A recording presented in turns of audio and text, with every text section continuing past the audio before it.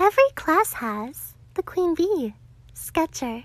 in love couple, singers, copying machine, sports guy, different, stressed out, gossiping machines, hyperactives, musicians,